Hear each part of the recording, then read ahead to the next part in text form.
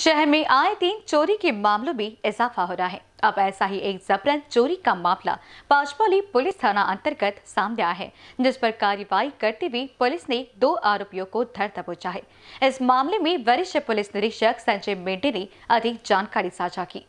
प्राप्त जानकारी के अनुसार सोमवार की रात करीब 9 बजे फिरियादी रोहित विनोद प्रसाद मिश्रा पाचपौली पुलिस थाना अंतर्गत आने वाले शीतला माता मंदिर ठक्कर ग्राम से अपने घर जाने के लिए निकला, जिस दौरान वह आरोपी अंकित तुलसीराम निमचे और आरोपी प्रफुल उर्फ़ चिंटू चंदू जी पानखेड़ी वहाँ पहुँचे और रोहित को रास्ते में रोककर उससे मारपीट की और उसका मोबाइल और बाइक चुरा कर वहाँ ऐसी फरार हो गए इस संदर्भ में वरिष्ठ पुलिस निरीक्षक संजय मेंढे ने अधिक जानकारी साझा की। पोलीस स्टेशन पाचपावली हद्दीमध्ये शीतला माता मंदिर ठक्कर ग्रामजवळ दिनांक पाच तारखेला रात्री जवळपास साडेनऊ दहाच्या दरम्यान. फिर्यादी रोहित विनोद प्रसाद मिश्रा हे न्यू बीडीपेठ आशीर्वाद नगरला राहतात.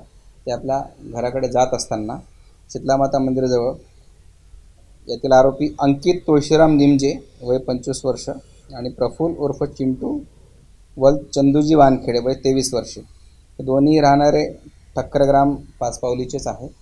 यांनी सदर आरोपीची गाडी थांबवली. त्याच्यासोबत मारपीट केली आणि आरोपीची गाडी आणि त्याच्याकडे असलेला मोबाईल हिसकावून पळून गेले होते.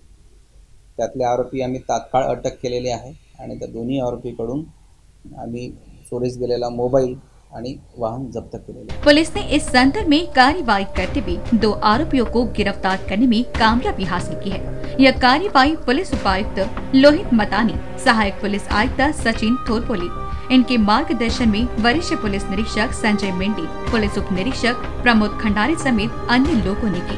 कैमरा पर्सन अखिलेश भारद्वाज के साथ दिशा हटवार की रिपोर्ट।